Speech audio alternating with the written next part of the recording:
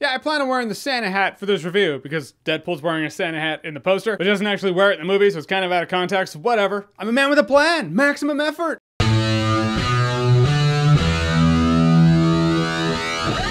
Once Upon a Deadpool. So Once Upon a Deadpool is essentially a PG-13 cut of Deadpool 2. This is not Deadpool 3. There's actually someone in the screening who was like, this isn't Deadpool 3? No, it's, it's Deadpool 2. Again, allowing me to do the easiest review I've ever done in my life. I've already reviewed Deadpool 2. I'll put a link below to my Deadpool 2 review. And I will put another link below to my Deadpool 2 spoiler video where we try to crack the timeline, but fail. Damn timeline. But narratively speaking, Deadpool has kidnapped Fred Savage, so he's reading Deadpool 2 to Fred Savage and is bouncing back and forth between that bedroom and the story of Deadpool 2, the movie of Deadpool 2. If you've seen The Princess Bride, you get the concept. If you haven't, what? And when I first heard about this, I thought that could be really hilarious. There are hilarious parts in it. All the stuff with Fred Savage and Deadpool in that bedroom, all funny. But really, that's it. Those are the reshoots we heard about. That's the new content. Everything else is a rated PG-13 version of Deadpool 2. Not just that, but an edited for television version of Deadpool 2. When Deadpool 2 comes out on primetime television, it will be indistinguishable from Once Upon a Deadpool, save for the Fred Savage stuff. And if that sounds like Deadpool 2's the better version of this movie, it's because it is. Why does this movie exist in the corporate world? Money! Seriously, other than Deadpool reading the book to Fred Savage when it's showing the movie that you know, there's nothing new in there. It's what you've seen before, just not as good. It lacks the grit. Even the editing, you can tell when the audio cuts. Maybe it's because I just watched Deadpool 2 last week, but if you don't hear the audio cut or the voiceover, you see it. There are scenes when people are talking, you're like, that's not what you said. Because not all the edits flow. You can tell this wasn't filmed to be PG-13. We've all seen that in movies. That movie that's PG-13, but when you're watching it, you're like, this is totally filmed to be rated R, but they've cut things out. It doesn't feel natural. And no, it's not in that, ooh, it's supposed to be that way because it's meta. It's in that edited for television feeling kind of way. Like, let's make more money off this movie, but put put as little effort as possible into doing it. I feel like this movie either exists to show, hey, PG-13 Deadpool can work. Maybe he'll be in the MCU. Maybe. I don't know. Or it exists so Mormons can finally see Deadpool. And I'm talking Mormons who actually obey the rules. I know you don't watch my videos because if you're a Mormon who obeys the rules,